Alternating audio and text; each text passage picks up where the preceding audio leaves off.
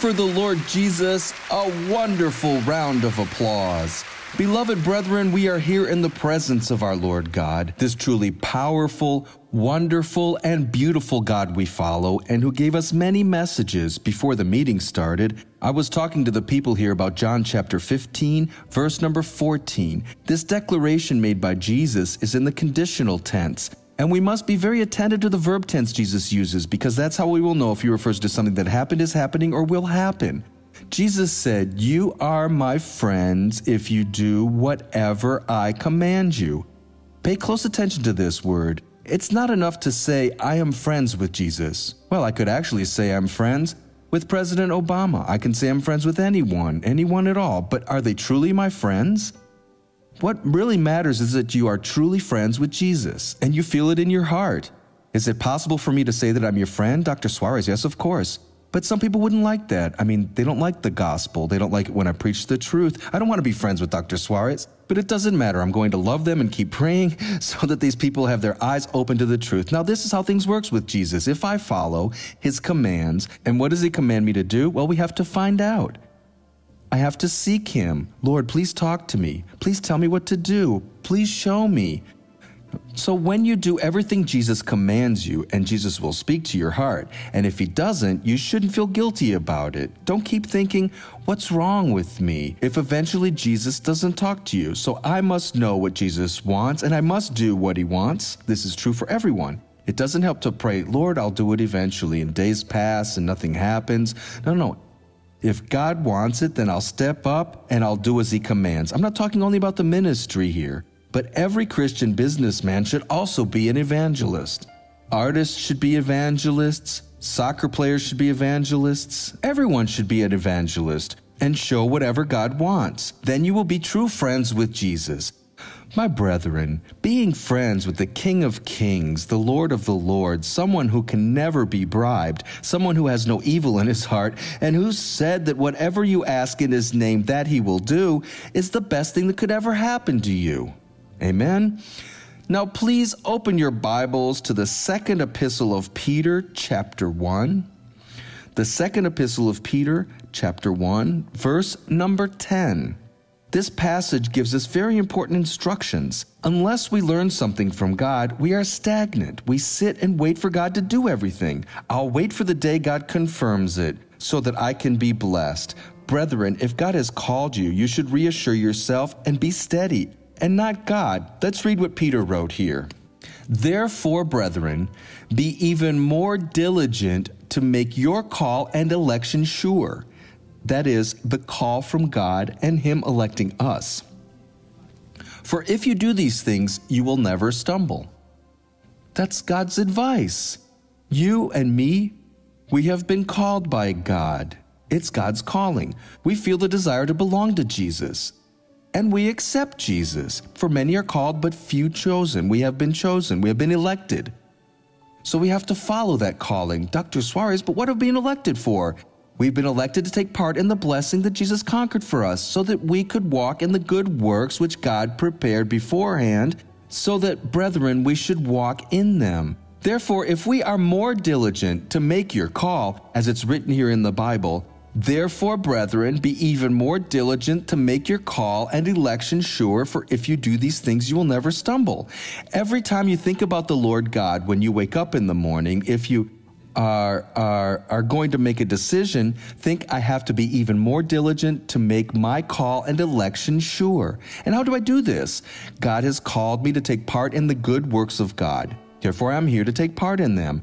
And why did God call me? He called me so that I could be elected. I've been elected. Now I've been authorized to use the holy name of the Lord Jesus.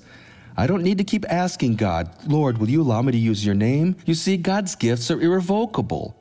Whatever you ask, which means to require and determine, in my name that I will do. Therefore, if evil is coming my way, God, I'm going to use your authority. That's how I talk to God. But I didn't even need to say that. I can say, in the name of Jesus, I cast you out. I don't accept you. I have to be even more diligent to make my call. That is, my calling, my vocation, and election sure. However, if I do this, what will happen then? Many great things will happen, for I will never stumble again. Any obstacles in my way, created by whatever enemy I rebuke, will immediately cease existing. I can carry on, keep on going, following my path. And as I do this, I will never stumble again. I will never have any problems that cannot be solved. I will win any and every battle. For if you do these things, you will never stumble. But that's not all. For so an entrance will be supplied to you abundantly into the everlasting kingdom of our Lord and Savior, Jesus Christ.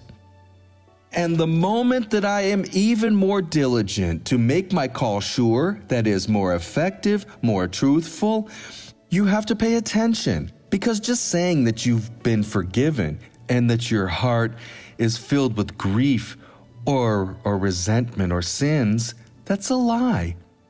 If I have been forgiven and there's something wrong with me, I will get rid of that in the name of Jesus. I am going to observe what the Word of God commands.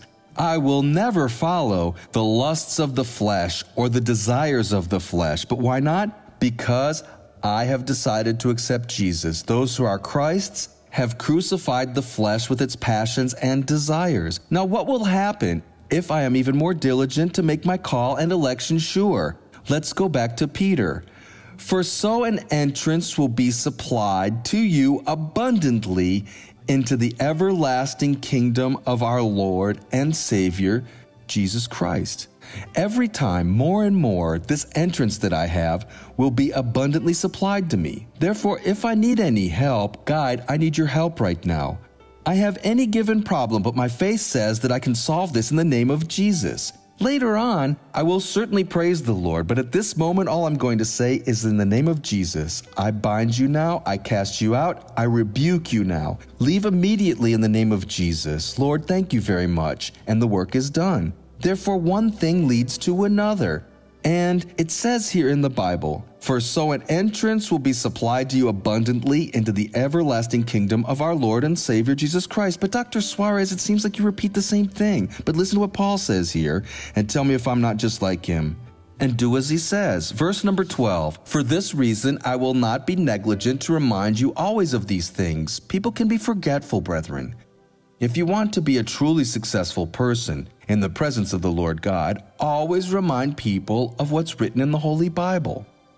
Jesus told us, Watch and pray lest you enter into temptation. Therefore, follow what I've taught you. Keep an eye out. Don't let anyone take that away. Sometimes we forget all about that and then we say, Lord, please give me a word. But He has already given us so many words. Is that one still active? God's gift is irrevocable. Any revelation that God gives you at any given time will never ever be taken away from you. It will work at any time. It's just perfect. The Word of God never grows old. The Word of God never grows weak. The Word of God never takes time out. The Word of God never sleeps. The Word of God is God Himself in your life. You should use whatever you have learned. But if we, who are believers, do not remind each other of what the Word says, people will just forget it. Let's go back to Peter. For this reason, I will not be negligent to remind you always of these things, though you know and are established in the present truth. So, brethren, what this means is even if you know it, it can sink into oblivion. We have places here in our brain where we store things and then we forget about them. You don't bring the word with yourself. In the Old Testament, the Lord God instructed the people to write and put those words right before their eyes so they would remember. And then God told them to set their hearts and their children's hearts on those words when sitting at the table, and their parents repeating them, because there's so much information, so many things to learn, and then the person forgets about these things, and the next thing they know, they've forgotten the Word of God, and they behave just as those who don't believe in Him. They will do exactly the same things, and sometimes they even stumble in their faith. But don't you belong to Jesus?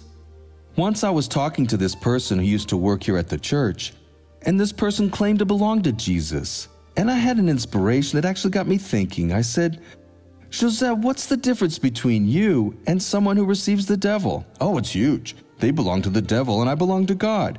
And he had just come from the doctor's office. And of course, I'm not against that. Jesus said, Those who are well have no need of a physician, but those who are sick.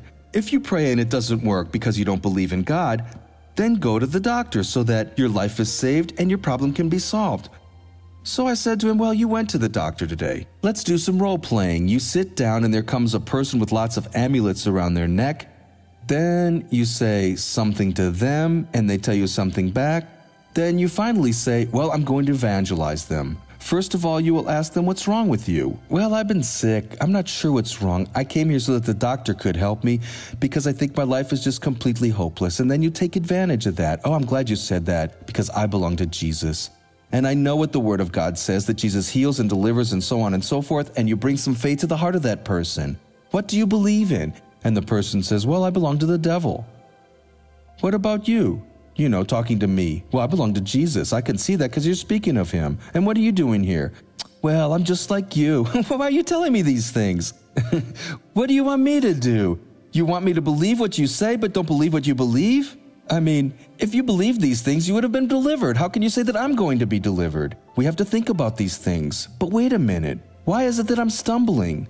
But let's go back to that, that verse number 10. Therefore, brethren, be even more diligent to make your call and election sure, for if you do these things, you will never stumble. Never.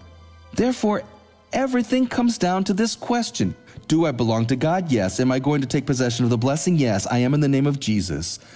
Shall we pray now?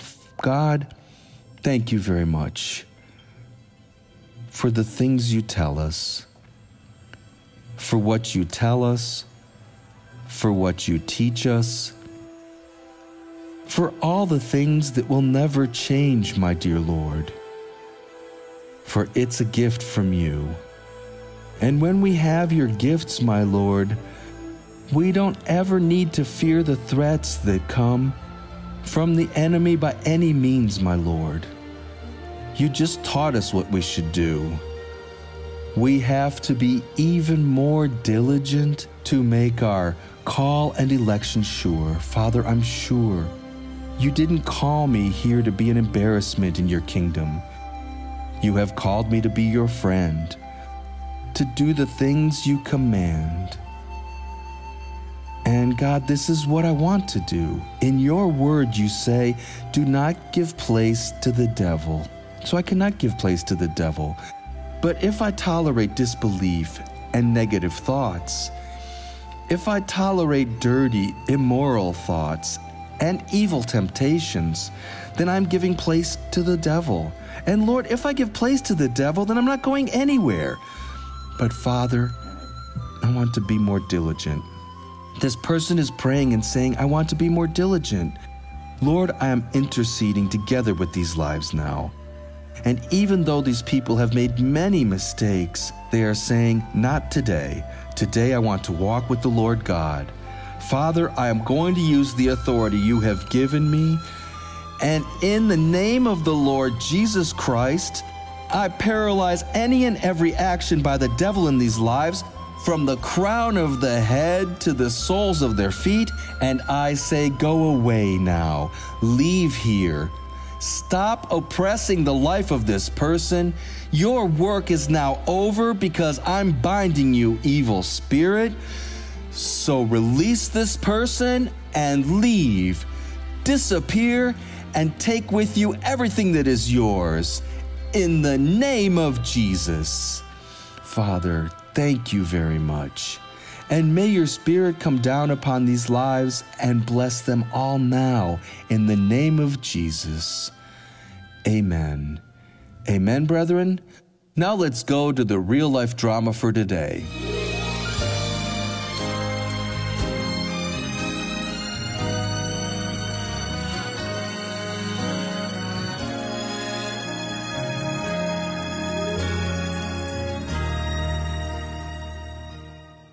Some time ago, I was having too much headache. So I had some tests and a small circle appeared in my brain. I had a really strong headache in the left side of my brain. After some time, I was at work and I felt very sick, so I had to rush to the hospital. Then I had to go through an MRI to find out that I had a tumor, a tumor in my brain. The moment he found out about it, he changed a lot, you know? The disease caused him to to become a bit weaker. According to the doctor, the best solution would be to have a have a surgery. When they came, um, when the nurses came to my room asking me to take a shower and change my clothes, to go to the operating room, it was very hard, you know. We thought the worst could happen because we knew I had a tumor that was very difficult to operate. The next day, the doctor came into my room and gave me some very unpleasant news. He wasn't able to do what he had planned. He said that the tumor was too deep in my brain. And he said it was like searching for a lake in the middle of a huge forest. The tumor could not be removed because it was too deep, and since he was uh, a very renowned doctor, I must say we ended up relying and trusting more in the doctor. And then at that moment, the doctor discharged me. And we had to follow the progress of the disease every six months, doing MRIs and taking medications. In the meanwhile, Dirlidia watches the faith show and starts to learn about the Word of God. That's when she starts going to the Grace of God Church. There was this moment when I stopped and thought I was alone at home, you know. Then I thought to myself, if God does so many great things for other people, why won't He help us too? And if God does that, I want to see with my own eyes. So I started seeking the Lord. The moment I set foot in the church, I actually felt more confident about everything. Every campaign I would take part in, you know, the first thing I would think about was that. And then we kept doing the follow up for about two more years, actually. And in the MRI, the doctors thought the brain tumor had grown inside my brain, and he decided that I should stay in the hospital and have another surgery. I completely relied on God. I knew that God could start working at any time now, and I would always tell him, just think about God. And the second time I was there, I actually had two surgeries, and the doctor failed to remove the tumor during both of them. And he told my wife, only my wife, that my case was very serious. That's when he decided to go to the church. Pastor Mike had just arrived at church, and he interceded with me with a strong prayer. Then I kept going and going, and eventually became a sponsor. Because I often watched the the faith show with my wife, I saw a lot of cure going on, so I started to feel happier. One year later, I was still a sponsor. I kept going and going, and the doctor asked for another MRI, planning to admit me into the hospital again. So I went. But this time, thank God, I was feeling happy. I was joyful. I had the MRI, you know, and when I took it to the doctor, he even made a joke about it, you know. He said, What witchcraft is this? I said to him, There is no witchcraft. And I asked, So, doctor, is it really gone? He said, Calm down. We have to make sure, you know. Three or four months later, I had another MRI. And when I took the results to him, there was nothing there. The tumor was completely gone. He's living a different life now. He's been completely healed. And then we look back and we think, wow, we really didn't know God in the past. I really regret not knowing the Lord before. In the beginning, the doctor said, whenever you have a serious problem again, you can always go to church, you know.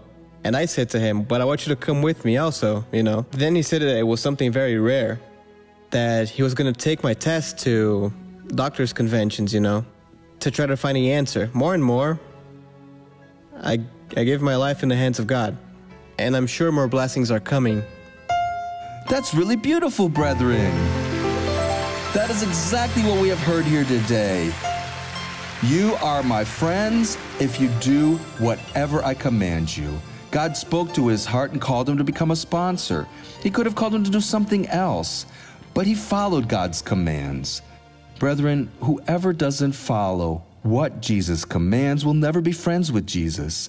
And any friends who let the others down are not true friends. But if he hadn't followed Jesus, if he hadn't done anything, then he wouldn't have been a true friend, right? But Jesus is a true friend. The Bible says he is closer than a brother.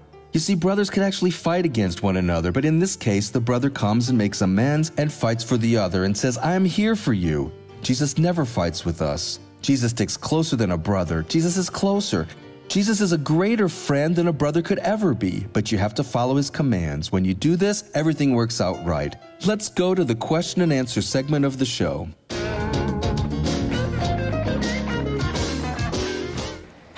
Leave jealously away from the relationship? I can't understand what jealousy is all about. I think it's foolish. I mean, but unfortunately, some people are really jealous about each other. It's worthless. It's nothing but evil action so that one person keeps fighting with the other, husband and wife, wife and husband. If the person is really wrong, they can be watched 24 hours a day, but when the other person takes a quick shower, they run into everything that's wrong. I mean, it's just hopeless.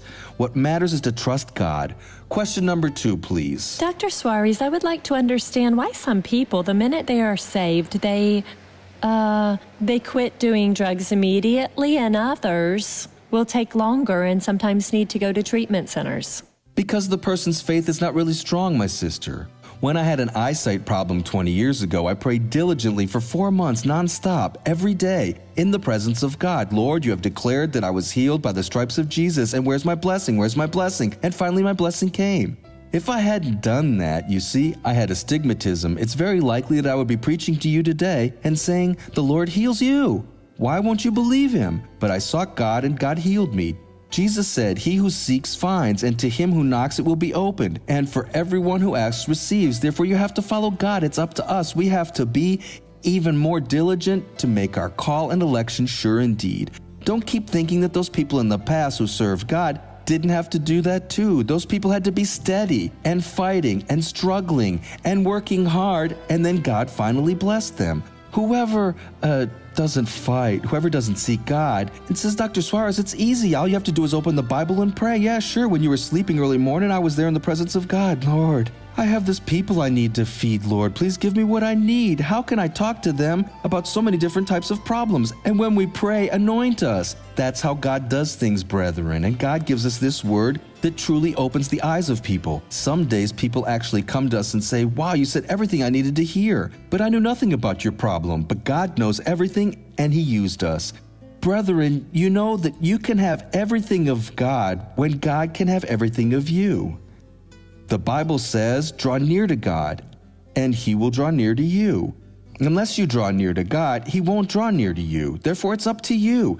You have to seek God. Of course, you don't have to do anything crazy. You just have to believe whatever God says and learn it and live your normal life, not a sinful life, obviously, and you can be absolutely sure that God will bless you in the name of Jesus. Let's go now to the Open Your Heart segment. Dr. Soares, I come from another denomination, and even so, I once called you a deceiver when you talked about the sponsorship. But I finally had an experience with God and started to feel the calling. I decided to sponsor my husband, who's in jail, and even though he was sentenced to the semi open jail system, he's being kept in the prison all the time. It's been two years and a half in this struggle. With the sponsorship, we started seeing some improvement. In the end of last year, he got to spend 10 days with us. We felt very happy with this answer from God. My husband came to this unfortunate place because of his crack addiction. Dr. Soares, I kindly ask you to pray for us. My husband is a nice, hard working man, but this problem just ruined his dignity. Well, sister, you shouldn't be too eager for him to leave the prison. Dr. Soares, what are you talking about? Remember, Joseph from Egypt had to spend two years in prison and he was innocent. Your husband was guilty. Joseph was innocent. But prison was just a crash course for Joseph. There, Joseph sought God. Perhaps if he leaves jail too soon, he can fall into temptation again. Therefore, he needs to take a stand and get converted. God always knows how to do the right thing at the right moment. Israel asked God for a king, and God said, I am your king. He wanted to be, but they asked and God gave them a king, and Saul was a complete disgrace. Therefore, you need to wait for the Lord. Believe in the Lord, and God will certainly give you the victory in the name of Jesus. Because your husband did something wrong and went to jail, pray to God so that he will be a light in the darkness and can leave prison completely recovered. Never try to rush things. Everything happens at the right time. And you can be absolutely sure that the Lord is our Father and God understands everything. It's not nice when someone is in a place like that, but nothing happens by chance. The ideal is that now he can learn and make a decision, and when he gets out of jail, he can hold his head up and decided never to go back again. Goodbye, prison. Now I belong to Jesus Christ. I will only speak the word of God and be a true blessing for mankind. Now let's pray for those who are at home. God, I intercede for those who are at home now, or at the hospital, in the jail, or at work, wherever they are, and also those who are here, so that your power, Lord, can come down upon us and destroy the pain and suffering these people have been enduring. I join my faith with the faith of these people, and I rebuke right this moment any and every evil spirit. And I say, You devil, pick up everything that is yours and release this life right now and never come back in the name of Jesus. Amen.